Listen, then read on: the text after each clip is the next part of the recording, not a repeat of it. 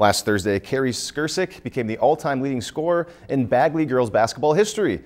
She needed only four points coming into play against Lake Park Audubon, and Skersick scored more than enough for the Flyers, finishing with 18. Here's more on Skersick and her record-breaking career.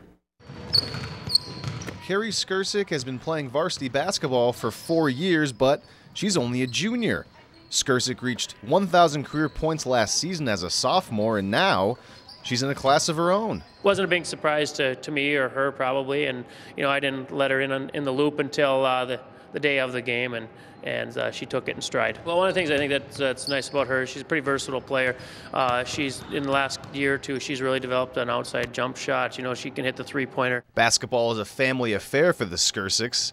Carrie has two older sisters and an older brother who've scored over a thousand points for Bagley, and even though she has more points than all of them, she's still modest. They can still beat me, so. With the rest of this season plus next year to go, Skersick could put the all-time scoring record out of reach for good. That'd be really nice. Come back 20 years and still have it, but records are meant to be broken.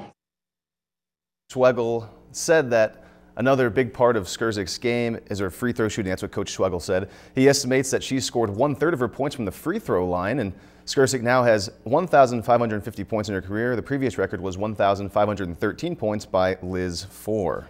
If you've enjoyed this segment of Lakeland News, please consider making a tax-deductible contribution to Lakeland Public Television.